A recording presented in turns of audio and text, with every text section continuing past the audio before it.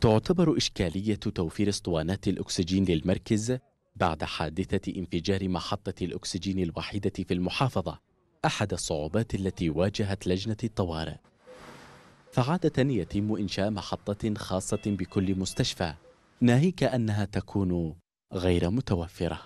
مديرية عتق عانى من الأكسجين معاناة غير عادية في الجائحة الثانية التي بدأت قبل ثلاثة أشهر لدرجة أننا لم نجد دبة واحدة.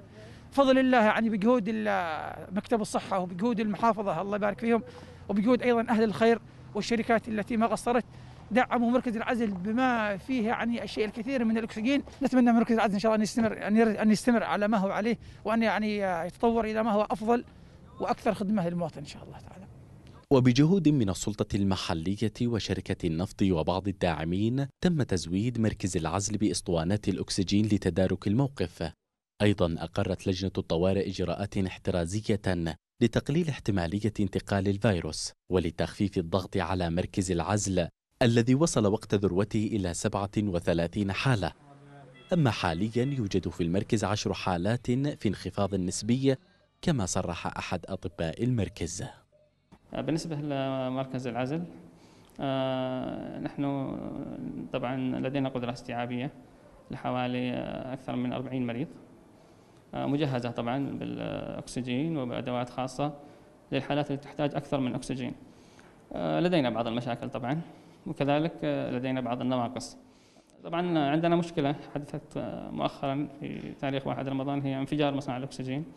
هذا عمل عمل لنا شوية نقص في الأكسجين لكن الحمد لله بتعاون وبتعاون مع محافظات أخرى تم آه، استيراد كميات كبيرة من الأكسجين. وطبعا موضوع الأكسجين هذا دائما يكون فيه نقص. لكن الأمور بشكل عام تعتبر أفضل أفضل من كثير من المحافظات الأخرى.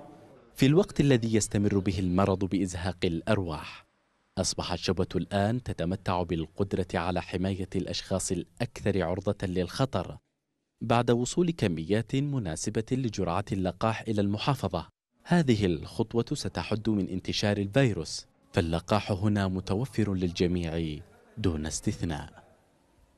لا تزال الجائحة مستمرة ولا يزال الوضع الوبائي في انتشار من جميع المديريات رغم الجهود التي يبذلها مكتب الصحة في المحافظة.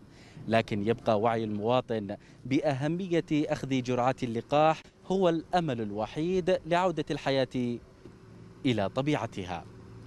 عبد الغني خسرو في يمن شباب. شبوة.